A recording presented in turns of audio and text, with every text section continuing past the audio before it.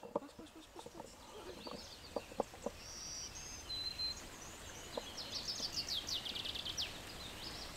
Siema, cześć. Witam Was w mojej tajnej kabinie, która znajduje się w miejscowości Wały, a dokładnie we wsi w województwie warmińsko-mazurskiej, a dokładnie przy Lejkowskiej Strudze. Zapraszam Was na 5 porad od Janusza.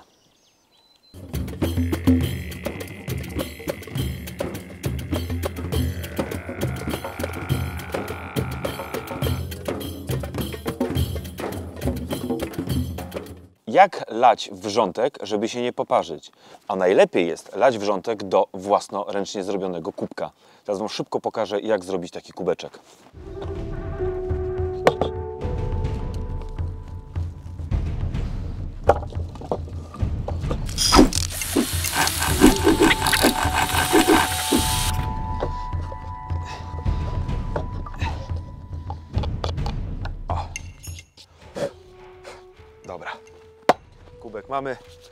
Bierzmy się za wrzątek.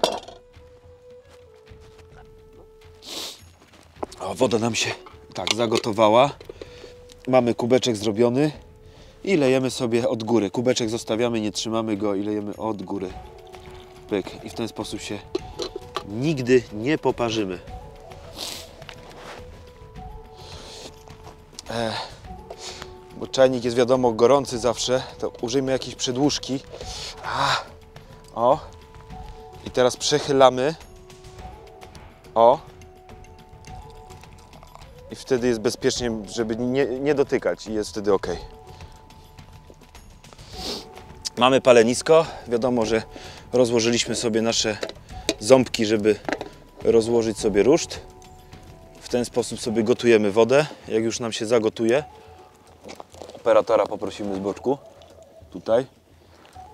Jest to bardzo fajna technika, bo sobie na przykład siedzimy, grzejemy się przy ognisku i po prostu przechylamy i pijemy. Potrzebujemy więcej kawki, to znowu przechylamy.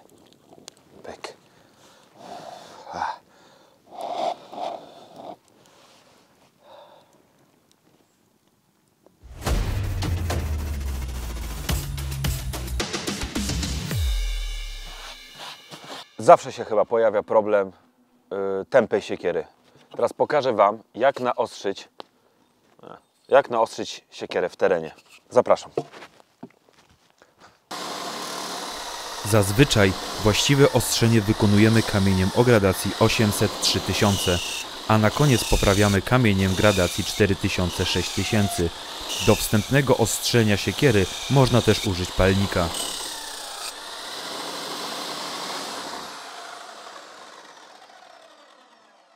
O, i tak naostrzoną siekierą y, możemy już ruszać w teren.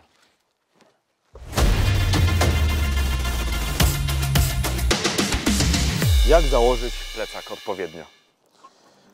Tak na przykład, że bierzemy sobie tu za uszka, a dokładnie odwrotnie, w ten sposób i zarzucamy, o może stanę boczkiem będzie łatwiej, zarzucamy na plecy, jeszcze raz, zarzucamy na plecy wszystko tak, żeby nam się tu, o i w tym momencie jesteśmy gotowi do wędrówki.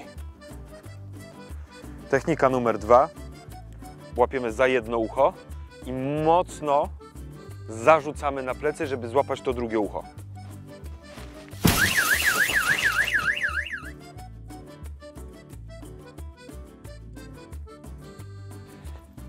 Mocno za ucho, żeby nam wleciało na plecy. Pyk. Jest założony, jesteśmy gotowi do wędrówki. Następna, jak już sobie trzeba powiesić gdzieś plecaczek, podejść do niego, hop, hop, zakładamy i jesteśmy gotowi do wędrówki.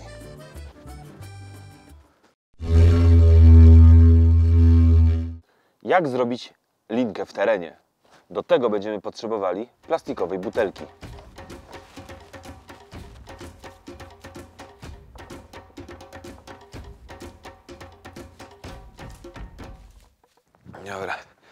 Buteleczka jest.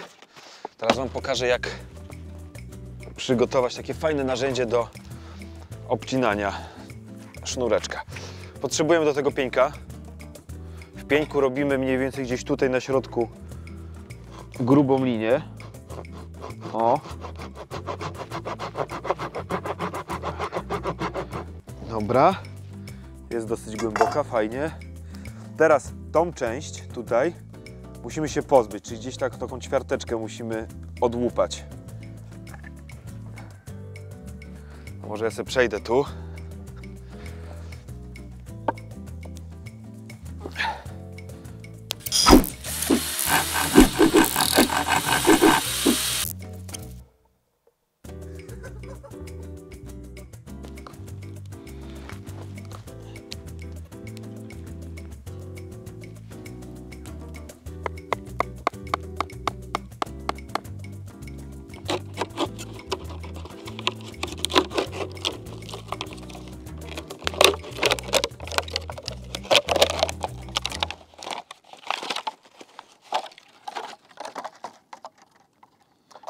Wyobrazić, że ta linka jest cieńsza po prostu.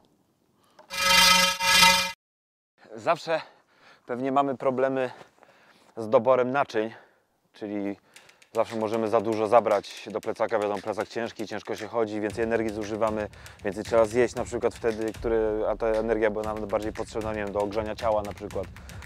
Eee, czyli jak zrobić naczynie w terenie. I na przykład idziecie sobie po lesie i nagle, o, mam folię aluminiową. Znalazłem całą rolkę, ale super. Bierzesz sobie folię aluminiową, kawałeczek, zawijasz.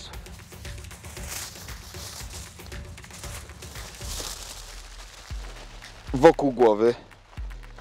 Jeden kawałeczek, bierzesz drugi kawałeczek,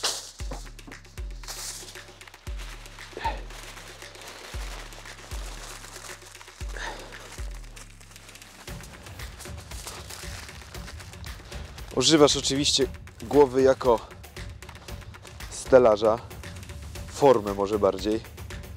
Hop.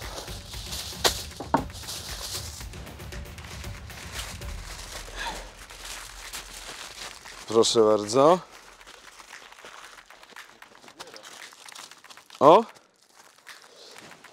Czas na doszlifowanie. Tu sobie zawijamy brzegi, jak w pizzy. O!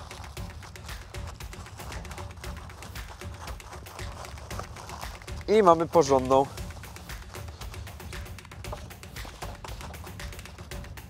miskę na zupę, wodę, co nam się by wtedy przydało. Czy makaron jakiś sobie zjeść w tym. Jest to też dobry sposób recyklingu generalnie. Ok. Miskę mamy. Eee,